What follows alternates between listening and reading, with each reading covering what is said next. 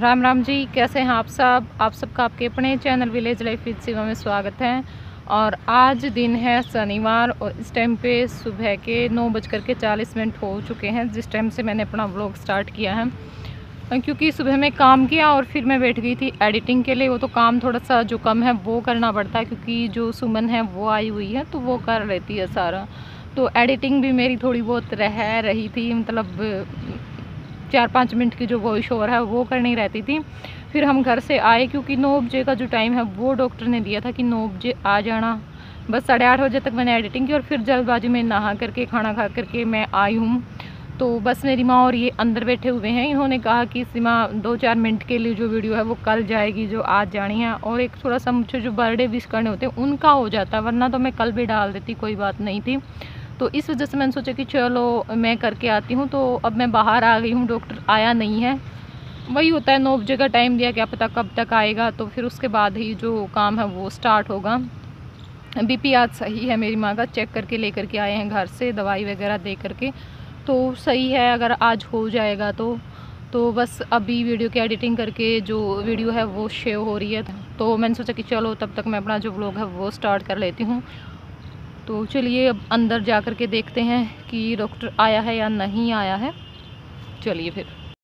तो बस जब मैं अंदर गई तो उस टाइम पे डॉक्टर आ चुका था और बोल दिया था कि ठीक है, आज ऑपरेशन कर देंगे और बीपी भी चेक किया था तो बीपी बिल्कुल नॉर्मल था और घर से भी हम करके लेकर के आए थे दवाई वगैरह दे करके कि कहीं फिर वही हो जाता है, एक बार होने के बाद कहीं फिर और लास्ट टाइम तक हमें ये रहा कि कहीं बीपी ना बढ़ जाए और डॉक्टर आज फिर ना घर भेज दे। तो बस यहाँ पे अब थोड़ा सा वेट कर रहे हैं। उसके बाद जो बोतल है वो लगेगी और एक बजे के आसपास उन्होंने बोला था कि ऑपरेशन हम कर देंगे। पहले बोतल लगेगी और उसके बाद फिर ऑपरेशन करेंगे। तो है मेरे जो बच्चे हैं दोनों, वो भी यहीं पे हुए हैं, आराध्या और जय। आराध्या के टाइम पे मुझे बहुत दिक्कत हुई थी और मेरा ना इस हॉस्पिटल की तरफ़ मुँह करने का मन भी नहीं करता था। बस आना पड़ता है मजबूरी में क्योंकि यहाँ पर आते ही सब कुछ याद आना शुरू हो जाता है कि क्या हुआ, क्या नहीं। बहुत ज़्यादा दिक्कत मुझे हुई थी। जय के टाइम पे नहीं हुई। जय के टाइम पे हम सीधा आए जैसे सुबह में और एक बजे के आसपास हमने ऑपरेशन करवा लिया था तो इतना ज़्यादा लंबा टाइम भी नहीं लगा। और उस टाइम पे मुझे दर्द वगैरह भी नहीं था, क्योंकि दर्द हमने लगवाए भी नहीं। आराध्य के टाइम पे भी मुझे अपने आप दर्द नहीं आने शुरू हुए थे, लगवाने बड़े थे दर्द। लेकिन पूरा दिन सुबह चार बजे से नौ बजे तक मुझे इतने तेज़ दर्द थे, जो एक मतलब कहते हैं ना कई बार कि तीन दर्द आए थे, चार दर्द आए थे, पाँच दर्द आए थे तो वो दर्द, इतना तेज़ दर्द थे। मतलब देखने वाले भी हैरान थे कि है क्या ये? मतलब कि इतना दर्द आने के बाद भी बच्चा नहीं हो रहा है। और जब भी आसपास किसी की होती है ना मतलब बच्चा होने वाला होता है तो मेरी जो बात ज़रूर याद की जाती है और उनको हौसला दिया जाता है, ये कहकर कि देखो सीमा के साथ कितनी बनी थी और फिर भी उसने हौसला रखा मतलब चूँ भी नहीं की थी। और बस यहाँ पे अब जो बोतल है वो लगा दी है मेरी माँ को और ऊपर लेकर के जा रहे हैं। मैंने तो सोचा कि क्योंकि ऊपर तभी लेकर के जाते हैं जब ऑपरेशन करते हैं। वैसे तो नीचे ही लेटा करके रखते हैं। मैं खुश हो गई थी कि चलो जल्दी ही ऑपरेशन हो जाएगा। अब तो ऊपर जा रहे हैं और बस सीधा ही ऑपरेशन ही कर देंगे। लेकिन वहाँ पर जा के लेटा दिया गया और हम काफ़ी टाइम तक, तीन बजे तक वहाँ पे रहे। ग्यारह बजे आएगा डॉक्टर, फिर बोले बारह बजे आएगा डॉक्टर, फिर एक बजे, फिर दो बजे का टाइम दिया। फिर आ गया था दो, सवा दो के आसपास वो, लेकिन फिर जो और बच्चे थे मतलब कि बच्चे क्या थे? बच्चों का तो जो दूसरी डॉक्टर थी, उसने किया था। और जो नसबंदी वाले होते हैं मतलब कि जो बच्चों का ऑपरेशन करवाते हैं लेडीज़ तो उनकी ऑपरेशन करके फिर उसने कहा कि नहीं, कल लाना जो इंजेक्शन लगवाने इंजेक्शन लगाने वाला डॉक्टर होता है, वो चला गया है। गुस्सा तो बहुत ज़्यादा है कि पूरा दिन ऐसे निकल गया और सिर में दर्द जैसे आज ही होना है सारा।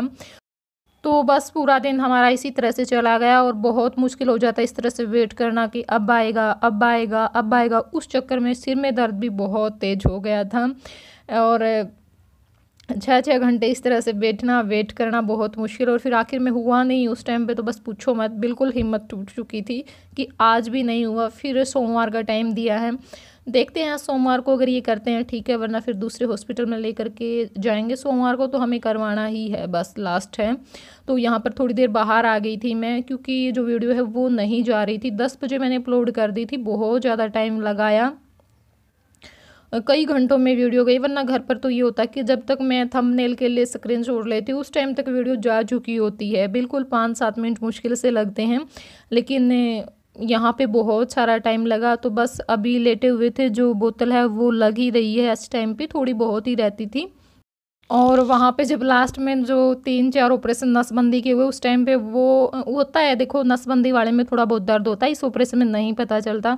तो उनकी आवाज़ सुन के मेरी माँ को इतनी घबराहट हो रखी थी, मैं सोच रही थी कि बस आज तो काम ख़राब होना ही है लास्ट में आकर के। इस टाइम पर बज चुके हैं पाँच और हॉस्पिटल से हम तीन बजे आ गए थे, क्योंकि पाँच मिनट का ही रास्ता मुश्किल है, हमारा यहाँ गाँव से जो टोहाना का वो है। तो बस आने के बाद नहाए और फिर खाना खाया, चाय पी, क्योंकि सुबह जल्दबाजी में मैं खड़ी खड़ी एक रोटी मुश्किल से खा करके गई थी। बहुत भूख लगी हुई थी जोरों की। तो बस उसके बाद फिर लेट गए थोड़ी देर के लिए, क्योंकि सिर में बहुत तेज़ ज़रूरत था। लेकिन बच्चे इतने इकट्ठे होने के बाद कहाँ लेटने देते हैं? मतलब शोर करते ही रहते तो फिर हार करके मैं उठ गई थी और फिर कोई आ गया था तो हम सब उसके पास बैठे रहे। और उसके बाद फिर लगी थी मैं अपने जो सूट की कटिंग है वो करने के लिए। मैंने सोचा कि चलो थोड़ा सा टाइम है अभी, रात का जो खाना है उसमें, और मैं जो सूट की कटिंग है वो कर देती हूँ, और जो सुमन है वो भी अपने काम पे लग गई है। मेरी माँ को थोड़ी सी आज हो रखी थी, घबराहट तो वो लेटी ही हुई थी, क्योंकि जो सूट सिलने का काम है वो भी करना है। चार पाँच तो पाँच तो कम से कम सिलेंगे ही सिलेंगे सुमन के भी, और मैं सोच रही हूँ कि एक दो मैं मेरा भी निकालूँ बीच में से, क्योंकि क्या हुआ था, मशीन ख़राब हो चुकी थी तो अब ठीक करवाई है वो दो चार दिन पहले। अब ठीक चल रही है और जब मशीन ठीक चलती होती तो सूट सिलने में बिल्कुल भी टाइम नहीं लगता, ना मुझे आलस आता, बल्कि मुझे ना अच्छा लगता है सिलाई करना बहुत ही ज़्यादा। और सूट की कटिंग में मैं बिल्कुल टाइम नहीं लगाती हूँ, बहुत जल्दी कर देती हूँ। इसी वजह से ये होता है कि सूट की कटिंग तो मैं ही करती हूँ सील तो फिर सुमन भी लेती है थोड़ा बहुत गला वगैरह या फिर जो पूछे वगैरह वो बना करके मैं दे देती हूँ सूट के। तो बाकी ये सारा अपने आप कर लेती है। और इस तरह के जो सूट में काटने में बिल्कुल भी टाइम नहीं लगता, ना सिलने में टाइम लगता, बहुत जल्दी सिल जाते हैं, जो ऑल ओवर सूट होते हैं वो। क्योंकि इसमें कुछ ऐसा देखना तो पड़ता नहीं है। बस आराम से तह की और काट करके रख दिया। और कपड़ा अगर पूरा हो जैसे पाँच मीटर कपड़ा है या थोड़ा बहुत उससे ज़्यादा है तो उसमें तो फिर आराम से बन जाती है। क्योंकि अगर कपड़ा थोड़ा होता है चार सवा चार तो उसमें बहुत सोच समझ करके सूट की कटिंग करनी पड़ती है। यहाँ से ये चीज़ निकालें यहाँ से ये चीज़ निकालें तो ये कपड़ा पूरा था मुझे बिल्कुल भी टाइम नहीं लगा। हनुमान।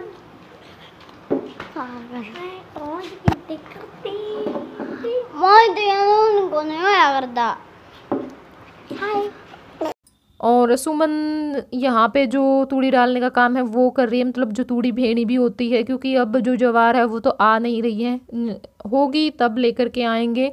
तो अब जो सरसों की खल होती है, उसमें इसको भेना पड़ता है पानी से। तो काफ़ी सारा टाइम उसमें लग जाता है। ए, मेरी माँ का होता है ये काम अगर मेरी माँ कहीं पे चली जाती तो मेरे काका कर देते हैं। लेकिन जब मेरी माँ या सुमन होती तो उस टाइम पे बिल्कुल भी नहीं करते फिर तो उनको ये होता है कि चलो कर ही लेते हैं। और वही होता है जब दो तीन दिख जाए तो उस टाइम पे होता है अगर अकेला आदमी हो तो उसके पास थोड़ा सा सोच लेते कि चलो भी कर देते हैं। हेलो। और यहाँ पे मेरी माँ पिला रही है इसको जो गाय का दूध होता है वो क्योंकि इसको थोड़ी सी दिक्कत हो गई थी आज तो गाय के दूध से ठीक हो जाती है। तो बस वही पिला रही है। और पहले तो मैं भी पिला लेती थी, ऐसे मतलब जीभ जो को जो दबा करके पिलाना पड़ता है, लेकिन अब आदत छूट चुकी घर पे मैं पिला लेती थी, जो छोटे काटे काटे होती थी, उनको जो मिला कर हम के पिलाते हैं ना, तेल, आटा, लस्सी में, वो चीज़ें तो मैं भी डाल देती थी।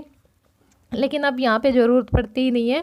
तो बस उसके बाद मैं यहाँ पर जो बर्तन है वो साफ़ कर रही हूँ, क्योंकि अभी चाय पी थी तो थे पाँच सात बर्तन तो मैंने सोचा कि चलो मैं ये भी साफ़ करके रख देती हूँ और उसके बाद फिर अपना जो रात का खाना है उसकी तैयारी करेंगे। तो बस जो बर्तन हैं वो भी हमारे साफ़ हो चुके हैं, जो भैंसों का काम है चारा डालने का वो भी सारा हो चुका है। और अब बनाना है रात का खाना तो मैं यहाँ पे जो आटा है वो लगा रही हूँ। सब्ज़ी अभी नहीं बनी है, आज पहले आटा लगेगा और फिर सब्ज़ी बनेगी। क्योंकि जो प्याज टमाटर काट रही थी सुमन अभी तो मैंने सोचा कि चलो तब तक मैं जो आटा है वो लगा करके रख देती हूँ और सब्ज़ी भी आज वही बनाएगी। क्योंकि जो बेसन की जो सेवइयाँ तोड़ करके मतलब जब उसी टाइम पे झरनी में से तो वो सब्ज़ी बनानी है आज। क्योंकि जो मेरी ननंद की लड़की है, उसको रखा था कि, मम्मी, आज वो सब्ज़ी बनानी है। तो फिर मेरे को बोल रही थी, मैंने कहा, नहीं, मेरे को तो आती नहीं है। क्योंकि मैंने कभी बनाई नहीं और ख़ास बात ये कि मुझे वो अच्छी नहीं लगती तो इस वजह से मैं बनाती नहीं हूँ उसको। तो यहाँ पे जो घी और जीरा है, वो हो चुका था तो उसमें जो प्याज टमाटर हैं, वो डाल दिए हैं। और साथ में इसने जो मसाले हैं, वो भी इसी कटोरे में डाल करके ले करके आई थी अंदर से तो वो भी साथ में ही डाल दिए हैं। तो बस अब जो प्याज टमाटर हैं, उसको थोड़ी देर तक भूनना है और उसके बाद फिर इसमें जो पानी है, वो डाल देंगे। तो बस यहाँ पे जो पानी डाल करके जो प्याज, टमाटर वो हमारे पक जाएँगे और थोड़ा सा जो घी है वो भी मैंने यहाँ पे डाल दिया है। क्योंकि ये रहता है, अगर इस टाइम पे मैं घी नहीं डालूँगी तो क्या पता सब्ज़ी अच्छी ना बने। और जो बेसन और पानी है उसको मिला करके जो आटा है वो गूँथ सा लिया है। और अब यहाँ पे देखिए जो झेड़ी है उसमें से ऐसे जो सेवैयाँ हैं वो साथ साथ में टूटती रहेंगी। मतलब जो बेसन लेकर के हाथ से इस तरह से जो प्रेस करना है और साथ साथ में जो सेवैयाँ हैं, वो सब्ज़ी में जाती रहेंगी और जो सब्ज़ी है वो हमारी बन करके तैयार हो जाएगी। पहले बनाई है मेरी माँ ने एक दो बार, लेकिन मुझे अच्छी नहीं लगी तो फिर मैंने मना कर दिया कि नहीं बनाना। लेकिन आज उसके बच्चों की ज़िद थी कि नहीं, आज हम यही सब्ज़ी खाएँगे तो हमने सोचा कि चलो कोई बात नहीं, बना लेना। और बस इसी तरह से ये मतलब करना है, इसमें कुछ और नहीं है, बस प्याज टमाटर डाल करके, पानी डाल करके और जो सेवैयाँ हैं वो इस तरह से डाल देनी है। तो मैंने सोचा कि चलो, मैं आप लोगों को भी थोड़ा सा दिखा देती हूँ। आप में से भी कोई होगा जो इस तरह की जो सब्ज़ी बना करके खाता होगा।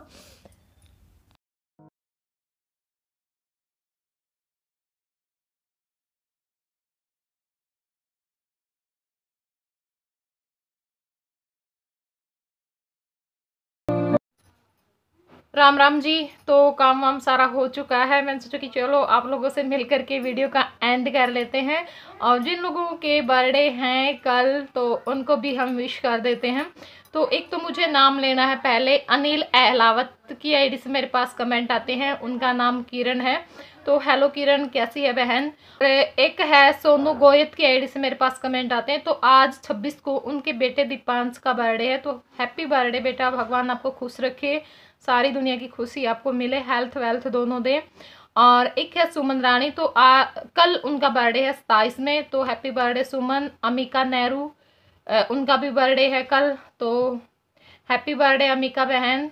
और एक है नीतू डागर तो उनकी बेटी त्रिसा डागर का बर्थडे है कल तो हैप्पी बर्थडे त्रिसा और एक है सरताज लालर तो उनकी बहन का बर्थडे है तो हैप्पी बर्थडे बहन। और एक है साहू पुनिया, श्याम पुनिया के आईडी से कमेंट आया था मेरे पास। तो सताईस को उनका खुद का बर्थडे है और अट्ठाईस को उनके हस्बैंड का बर्थडे है जसविंदर पुनिया का। तो जो आज के नाम यही थे। तो जिनके भी बर्थडे हैं, कल, आज, सभी को जन्मदिन की हार्दिक शुभकामनाएँ। भगवान आपको खुश रखे हेल्थ वेल्थ दोनों दे और दुनिया की सारी खुशी आप लोगों को मिले। तो मैंने सोचा कि चलो, मैं अपना ये काम भी कर लेती हूँ, क्योंकि बहुत सारे नाम आज आए हुए थे। कोशिश की है कि जो सारे नाम है वो मैंने बोले हों और किसी का छूट गया हो तो सॉरी क्योंकि हर रोज़ कितनी कोशिश करने के बाद एक दो, एक तो नाम ऐसा होता ही है जो छूट जाता है और फिर मेरे पास कमेंट आता है। कोई बात नहीं, अगले दिन आप बता दिया करो वीडियो में जिसका भी नाम रह जाता है। तो बस, चलिए अब इस वीडियो को यहीं पे एंड कर देते हैं और मैं आप लोगों को बता देती हूँ। एक खुश खबरी भी है कि जो हमारे पाँच हज़ार सब्सक्राइबर हैं, वो कंप्लीट हो चुके हैं तीन चार दिन पहले। लेकिन बस मुझे टाइम ही नहीं लगा लोग इस तरह से बन रहे थे बताने का। तो थैंक यू आप सभी का, और आप सब लोगों के प्यार से ही ये सब पॉसिबल हुआ है। बहुत ज़्यादा प्यार, बहुत ज़्यादा सपोर्ट आप लोगों ने किया। तो बस इसी तरह से मेरे साथ अपना जो प्यार है, वो बनाए रखिएगा। और बहुत ही जल्दी, बस दो चार दिन की बात है, थोड़ा सा बिज़ी हैं। तो उसके बाद मैं आप लोगों के साथ लाइव में आकर के बातें करूँगी, क्योंकि मैंने बोला था कि पाँच हज़ार सब्सक्राइबर पे हम लाइव मिलेंगे। कई बार बोला भी है कई कि दीदी लाइव आओ लाइव आओ। तो उस टाइम पे मैंने बोल दिया कि नहीं, मैं पाँच हज़ार सब्सक्राइबर कंप्लीट हो जाएँगे तो उसी टाइम पे लाइव आकर के आप लोगों से बातें करूँगी। तो पाँच हज़ार से भी ऊपर हो चुके हैं, क्योंकि तीन चार चार पाँच दिन पहले की बात है वो। तो मैंने सोचा कि चलो मैं आप लोगों को बता देती हूँ कि हमारे पाँच के कंप्लीट हो चुके हैं और आप सभी लोगों का एक बार फिर से दिल से शुक्रिया और बस थोड़ा सा प्यार और सपोर्ट और दें ताकि हमारी जो मेहनत है वो रंग ला सके और तो चलिए वीडियो को ना थोड़ा सा शेयर किया करो, क्योंकि हमारी वीडियो में सिर्फ़ एक ही दिक्कत है कि वीडियो शेयर नहीं हो रही हैं। प्लीज़ वीडियो को शेयर ज़रूर करें अपने फ्रेंड सर्कल में, रिश्तेदार, दोस्तों में, जहाँ पर भी। और वीडियो पसंद आए तो लाइक और कमेंट और चैनल पर अगर आप नए हैं तो चैनल को सब्सक्राइब ज़रूर कर लें। तो चलिए फिर मिलूँगी मैं आप लोगों से अगले ब्लॉग में।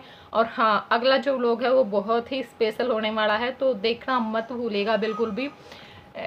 एक अलग सा जो ब्लॉग है वो आएगा। तो चलिए फिर मिलते हैं। Bye bye take care